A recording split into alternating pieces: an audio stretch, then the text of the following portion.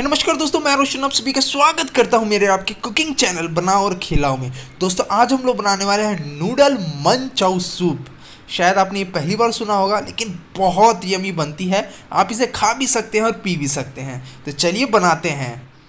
ये गैस पर मैंने कढ़ाई रख दी है। इसमें हम दो से तीन चम्मच ऑयल डालेंगे, दो चम्मच चॉप लहसुन, एक चम्मच हम डालेंगे इसमें चॉप अदरक, और इन्हें हम 10 सेकेंड तक भूनेंगे। अभी आपके गैस का फ्लेम हाई होना चाहिए, हाई फ्लेम पे ही आपको ये करना है। जब ये 10 सेकेंड, बस थोड़ी देर ही भूनना है, ज़्यादा नहीं भूनना है। तो अब हम इसमें डालेंगे पानी। पानी मैं इसमें लगभग एक लीटर पानी डाल रहा हूँ। अब हम इसमें कुछ सब्ज़ी ऐड करते हैं, जैसे बारीक चॉप की हुई गाजर डाल देंगे।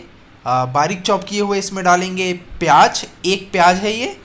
और अब इसमें डालेंगे हम बारीक चॉप किया हुआ शिमला मिर्च। ये मैंने दो शिमला मिर्च ले ली है चॉप करके। ये पत्ता गोभी डाल देंगे, चॉप की हुई एक कटोरी। दो चम्मच हम विनीगर ऐड करेंगे। दो से तीन चम्मच हम सोया सॉस ऐड करेंगे। और ये ग्रीन चिली सॉस है, ये हम तीन चम्मच ऐड कर देंगे। और ये चिंग का मंचाऊ सूप है, ये मैं एक पैकेट ले रहा हूँ, ये दस रुपये में आती है। आप इसे पूरा एक पैकेट डाल दीजिए। स्वाद अनुसार नमक डालिए। नमक कम ही डालिएगा, क्योंकि सॉस और जो हमने मसाला डाला है, उसमें पहले से ही नमक है।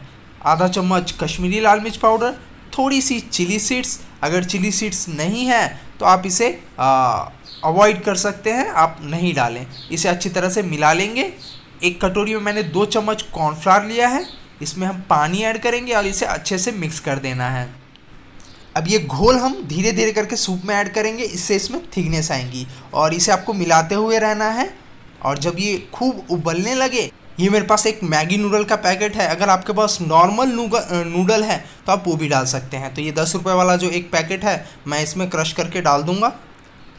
और इसके साथ जो मसाला आता है, ये ऑप्शनल है, आप चाहें तो डालिए। अगर आपको बहुत ज़्यादा चटपटा चाहिए तो डाल दीजिए, वरना आप इसे स्किप भी कर सकते हैं।